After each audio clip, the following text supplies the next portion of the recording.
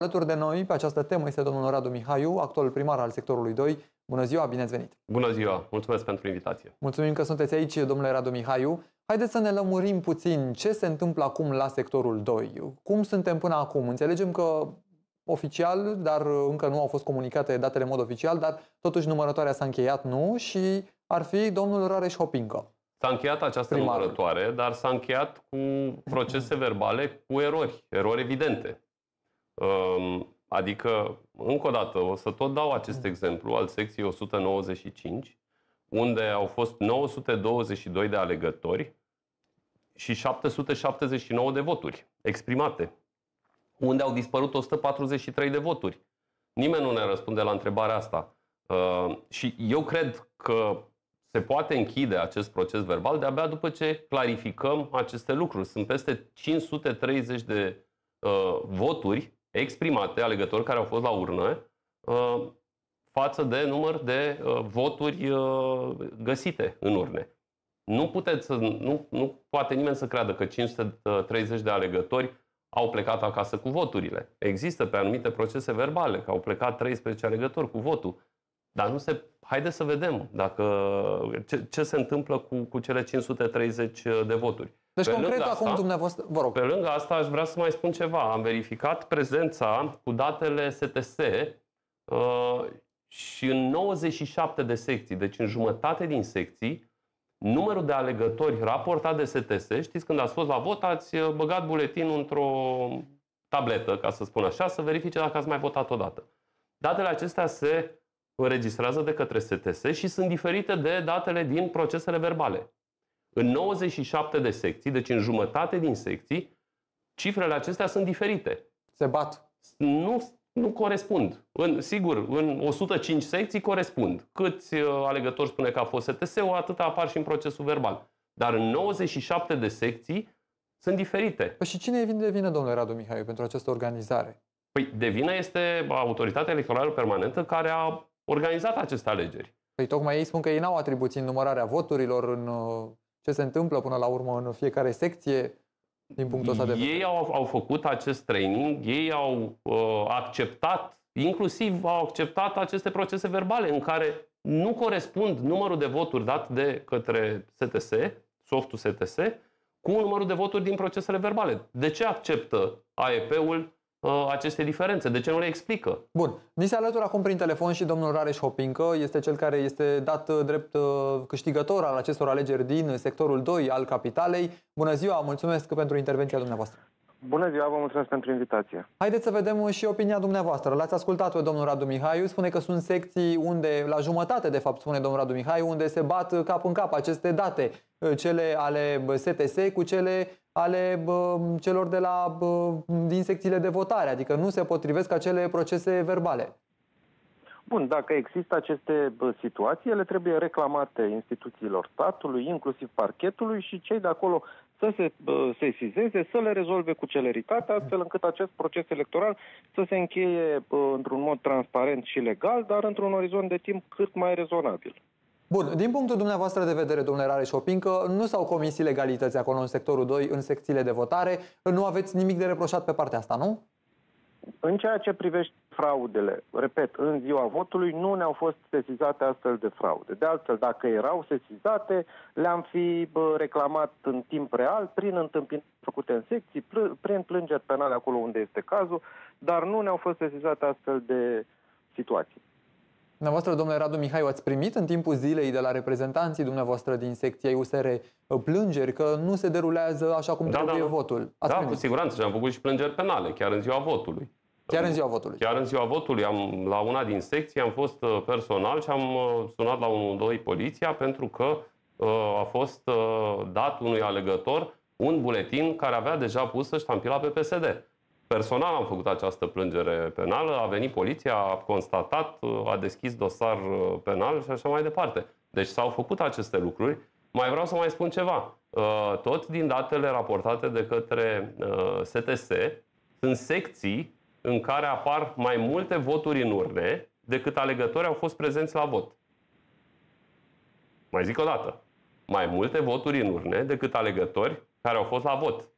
Cum au ajuns aceste voturi în urne? Întreb și eu. Asta din datele din secțiile de votare, spuneți. Din datele, din procesele verbale oficiale Încheiate de pe de... site-ul AEP, care sigur că au modificat din pix probabil numărul de alegători, uh, numărul de alegători uh, prezenți, ca să le dea cheile, acolo le dau cheile, dar pe site-ul de prezență AEP rezultă că au fost mai puțini alegători decât în procesele verbale. Și credeți că neapărat s-au pus în favoarea contracandidatului dumneavoastră, nu pot să știu, Popincă, nu pot pentru să că știu. nu e sigur neapărat că au fost la dânsul. Nu este sigur, dar cu siguranță asta indică o fraudă. Faptul că au, sunt mai multe voturi decât alegători nu există, nu are nicio altă explicație decât frauda. Da, haideți să ascultăm uh, și opinia domnului Rareș Hopincă. Așadar, domnule Hopincă, noastră cum vedeți toate aceste lucruri? Uh, le văd într-un mod foarte simplu. Dacă există aceste elemente pe care contracandidatul meu le afișează mediatic, ele trebuie rezolvate de instituțiile statului în urma unor plângeri. Încurajez să se facă toate aceste plângeri, instituțiile statului să uh, facă investigațiile uh, procedurale, legale, așa cum este și normal, și să se pronunțe pe acestea. În ceea ce privește procesul electoral, numărătoarea s-a finalizat, conduc în această cursă, mai mulți locuitori ai sectorului 2 mi-au acordat votul și sigur că este mai complicat de uh, acceptat o înfrângere, dar până la urmă deznodământul acesta este. Locuitorii sectorului 2, într-un număr mai mare, m-au votat drept primar al sectorului 2 și faptul că se tergiversează această procedură electorală, uh, în fapt arată refuzul de a accepta înfrângerea. Domnule Hopincă, domnule, mă iertați, domnule Mihaiu? Păi, îmi cer scuze, dacă nu știm unde au dispărut 530 de voturi, dacă 84 de voturi au fost potențial fraudate, nu putem ști cu siguranță că domnul Hopinca are mai multe voturi decât mine. Pentru că diferența în acest moment între mine și domnul Hopincă este semnificativ mai mică, este la jumătate.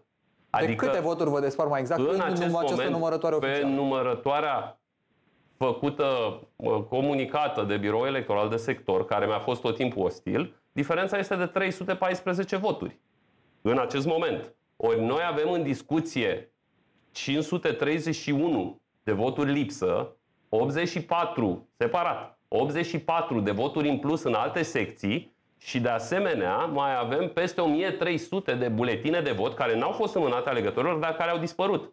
Ori toate aceste cifre pun sub semnul îndoielii diferența aceasta de 314 voturi, că dacă diferența era de 5.000 de voturi, eram de acord cu domnul Hopincă.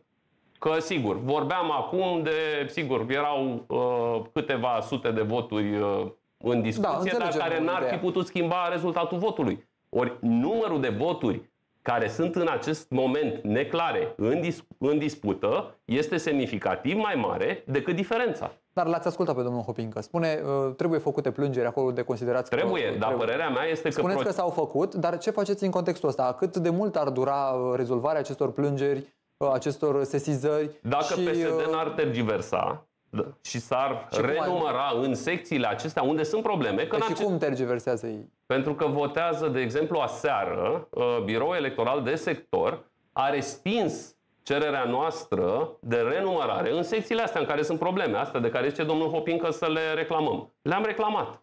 Uh, și au, a respins Biroul Electoral Bun, dar de există și Sector. niște argumente pentru care bănuiesc că au respins. Adică nu. Ei spun că sunt inadmisibile pentru că nu s-au făcut din secție. Eu spun așa, că n-aveau cum să se facă din secție, că Ce în anume secție, să se facă din secție? o, întâmpinări, sesizări. Întâmpinările. Că ele nu puteau fi făcute, pentru că procesele verbale au fost încheiate mult după, au fost încheiate la birou electoral de sector, fără reprezentanții USR.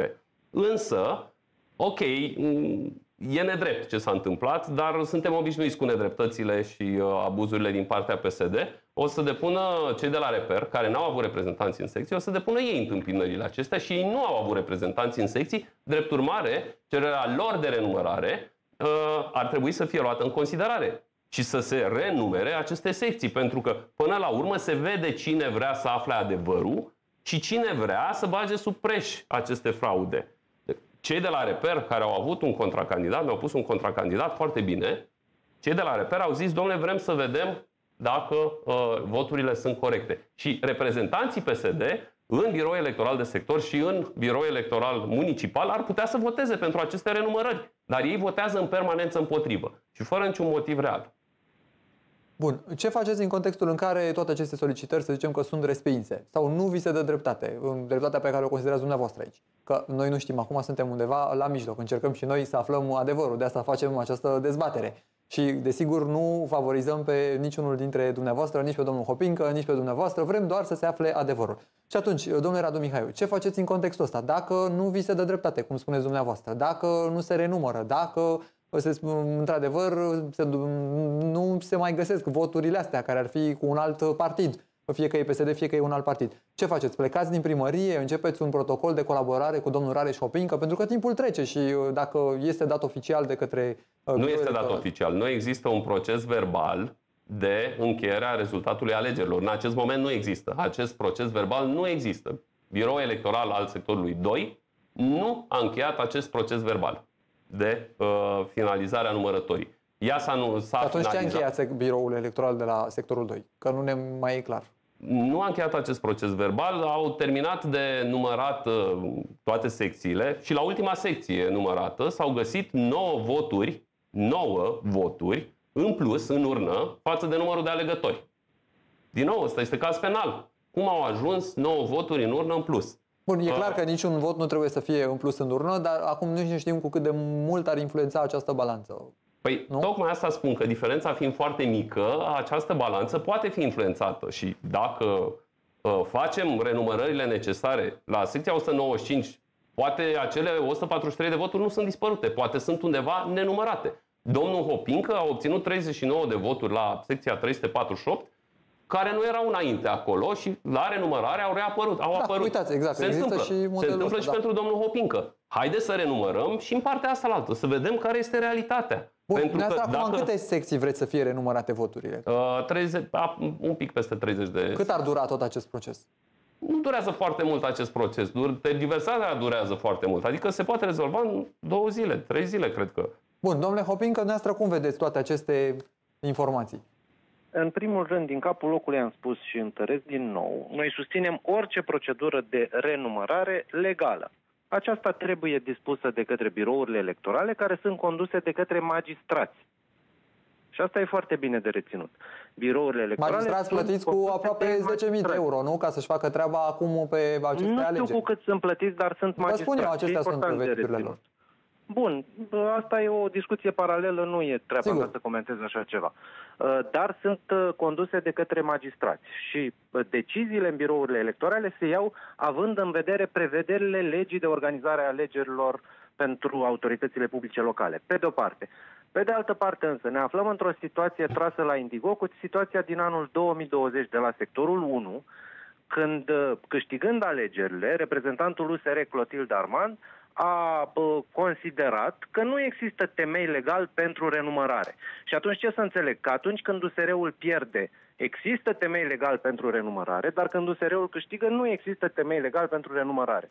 Încă o dată ne aflăm în fața unui refuz de a accepta realitatea. Realitatea este că am câștigat alegerile, locuitorii sectorului 2 m-au votat, mai mult decât pe domnul Mihaiu și în aceste condiții dânșilor le este foarte greu să accepte înfrângerea. Din păcate, pentru dânsii, democrația înseamnă să obții cu un vot în plus față de contracandidat.